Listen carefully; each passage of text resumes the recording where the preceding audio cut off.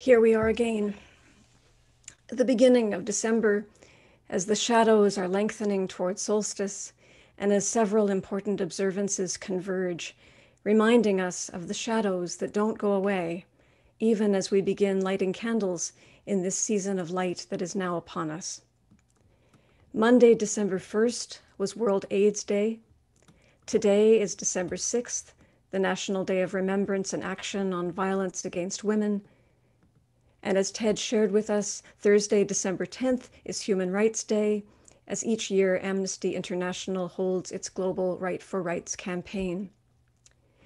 Meanwhile, we're still here in the midst of a global pandemic, still here online, doing our best to care for our families, ourselves, and one another during this time of profound uncertainty, while these immense social concerns are still with us.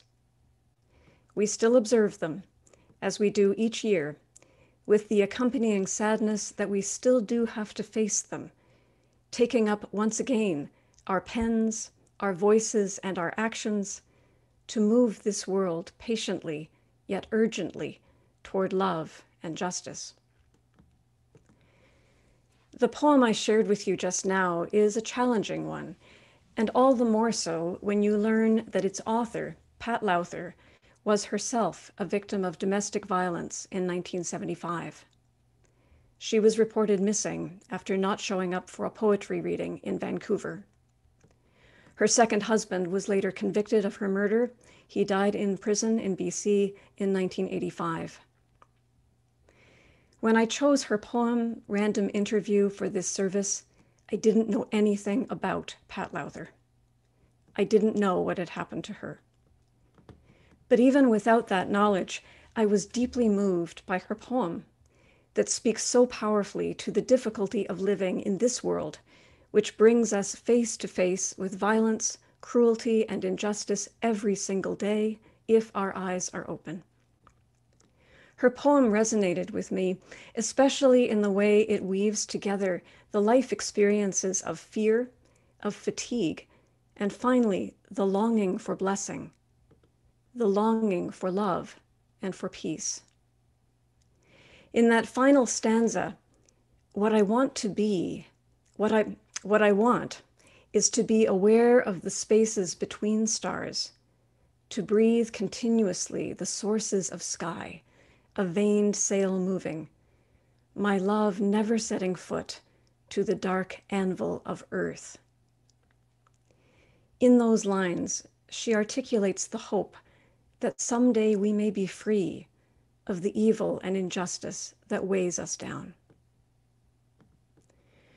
35 years after Pat Lowther's death, and more than 30 years now after 14 women were killed at Polytechnique Montreal because they were women, gender based violence is still very much with us.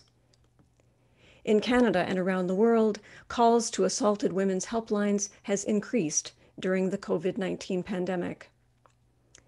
This is happening as families are, of course, facing intensified stress, financial crises, and there are suddenly no safe places to go. People are held together in ways that they cannot escape at this time. The United Nations has created a powerful campaign to spread public awareness about what it calls the shadow pandemic, encouraging all of us to check in frequently with each other to make sure we are safe and well. It's also essential for all of us, of all genders, to care for our mental health during this time of high anxiety and to reach out to professional supports if we or others are at risk. We try to say it frequently, but it's worth repeating that the ministers and pastoral care team at First Unitarian are here to, to provide support when needed. The focus on human rights in today's service may feel challenging right now. Violence against women and girls is a painful subject and the stories of human rights abuses brought to light by Amnesty International are difficult to think about. Remembering, too, that this past Tuesday was World AIDS Day, which also marked the beginning of Aboriginal AIDS Awareness Week in Canada. We note that the coronavirus pandemic can threaten access to health care, including HIV treatment for people around the world. and that global health concerns and justice issues are deeply and continually intertwined, making them all the more challenging and urgent to address. It can seem at times that these challenges are just too much to take in. And yet, we also know that the small actions within our scope can make a very important difference.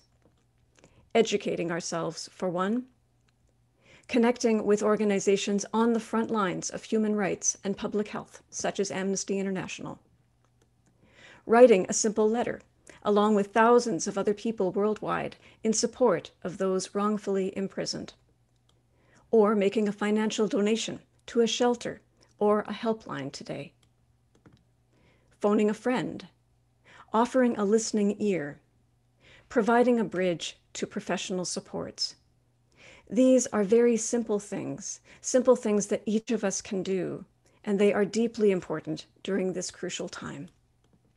They serve to counter the dark anvil of forces that weigh upon us, and they remind us of our capacity to contribute in positive ways to the world, even if we ourselves are feeling tired, stressed, or weighed down right now.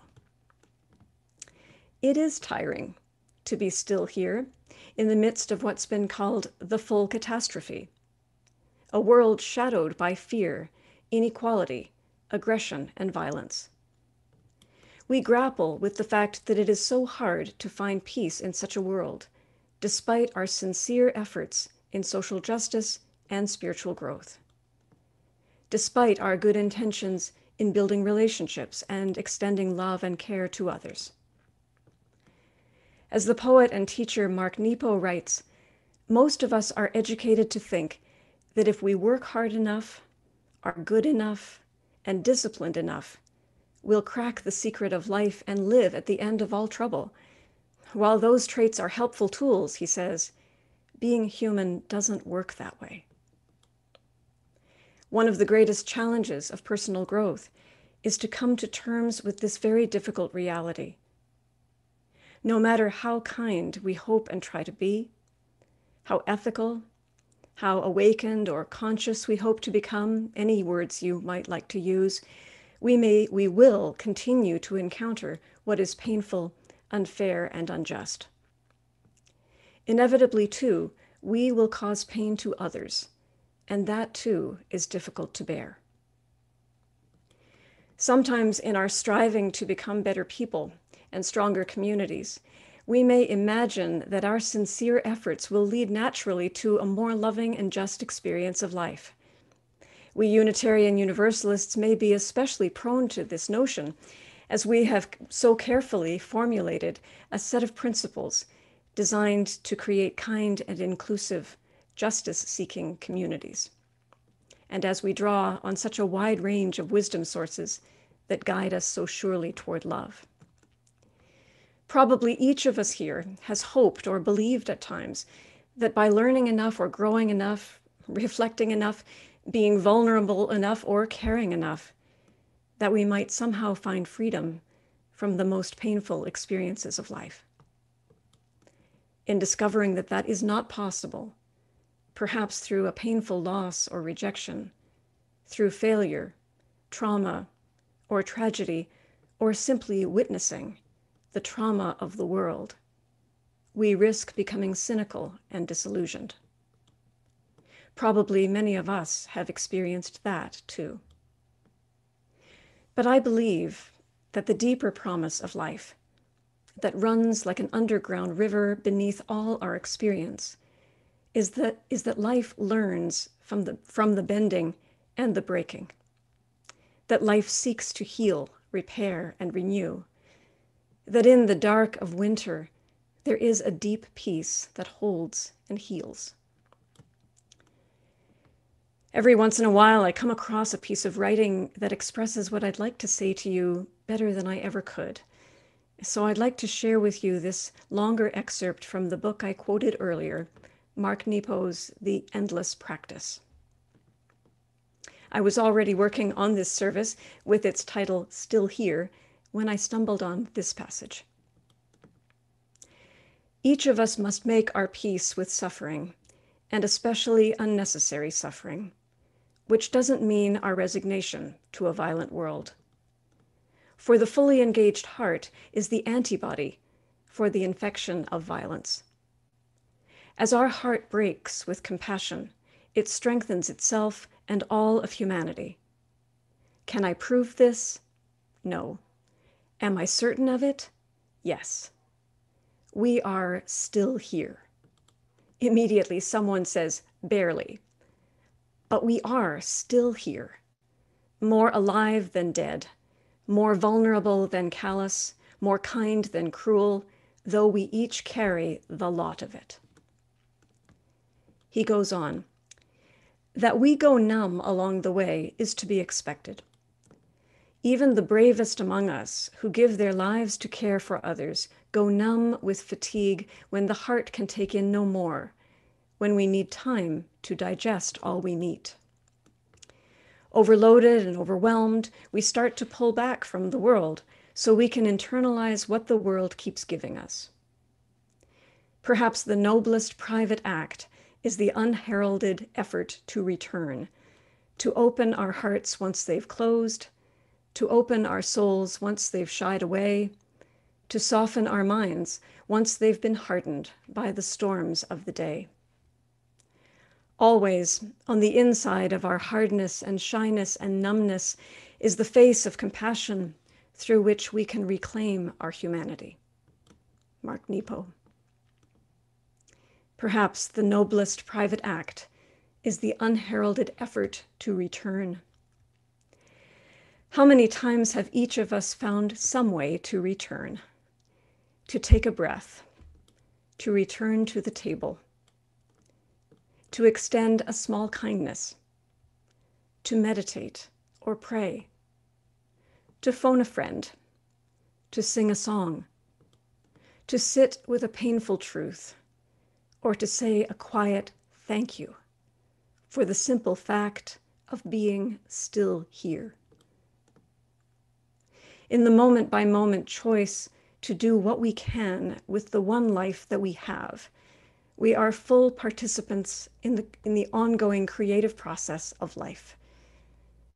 The creative process that does not deny and can never eliminate suffering, but that upholds love and healing and continually reaches for it, especially at the darkest of times.